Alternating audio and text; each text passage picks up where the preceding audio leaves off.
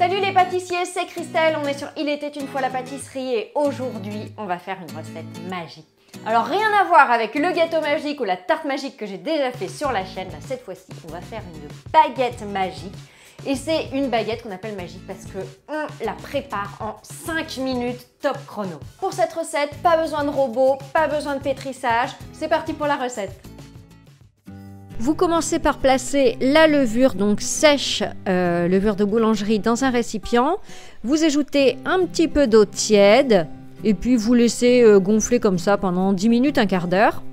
Ensuite, vous ajoutez le reste de l'eau, donc ce que je vous note hein, euh, dans, le, dans les ingrédients, c'est la quantité totale d'eau que j'ai utilisée. Vous ajoutez ensuite le sel et puis la farine.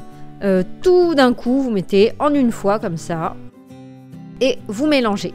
Donc euh, je vous mets tous les ingrédients et le matériel juste en dessous en barre d'infos. Donc vous mélangez euh, vraiment euh, simplement avec la marise ou une cuillère en bois. Vous recouvrez d'un torchon propre. Et puis, alors là, moi, en fait, je me suis servi de mon four comme d'une étuve. Donc, j'ai mis un bol d'eau vraiment très chaude dedans. Et j'ai laissé reposer ma pâte dans le four Ensuite, j'ai versé l'eau euh, dans le lèche-frite parce qu'on va faire la cuisson euh, avec euh, de, l'eau dans le four pour faire de la vapeur. Après, vous allez répartir la pâte donc dans un moule à baguette. Alors moi, je l'ai beurré et fariné. J'ai essayé un million de techniques, franchement. vraiment, je l'ai fait, je ne sais pas combien de fois cette recette. Pour moi, le mieux, c'est en faisant comme ça, en faisant couler directement la pâte de votre bol sur le moule. Beurré et fariné, j'ai essayé avec euh, euh, du, papier cuisson, c'est l'enfer, ça colle de partout. Euh, j'ai essayé sans beurré et fariné, on n'arrive pas à décoller. j'ai essayé de façonner mes baguettes d'abord sur un plan de travail, ça marche pas parce que la, pâte est vraiment trop collante. Donc ça, c'est vraiment, je vous promets, la meilleure technique, en tout cas, d'après moi. Bon, ensuite, vous étalez euh, tant bien que mal pour donner la forme de baguette. Ça ressemble à rien, vous allez voir, mais au final, bah, le résultat sera quand même top.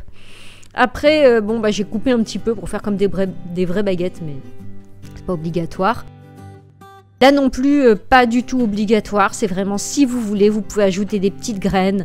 Donc moi j'ai mis euh, des graines de pavot, des graines de sésame, des graines de tournesol. J'en ai fait aussi des baguettes nature.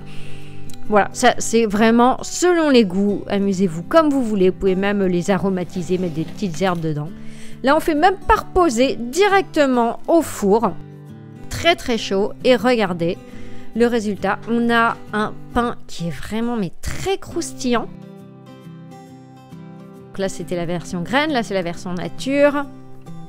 On a une mie qui est vraiment très belle et en plus, bah, on peut déguster le pain bien chaud, euh, comme si venait euh, de, comme s'il sortait du four de boulanger. C'est vraiment top. là, vous entendez, on entend bien quand on coupe que la croûte est bien croustillante. Et après, bah, vous pouvez le manger comme n'importe quel pain avec euh, du beurre, de la confiture, dessus si vous voulez, ou nature comme ça. Il est vraiment délicieux. Donc si la recette vous plaît, bah, je compte sur vous pour mettre plein de pouces bleus et vous abonner à la chaîne, c'est super important. Merci. Ça y est, la recette est terminée. J'espère qu'elle vous a plu. Si vous l'essayez, surtout venez me le dire en commentaire. J'aurais vraiment euh, ravie de lire euh, bah, votre impression sur cette recette que moi j'ai trouvé extraordinaire. Depuis, bah, j'arrête pas d'en faire. On se retrouve très vite pour une prochaine recette. À bientôt. Ciao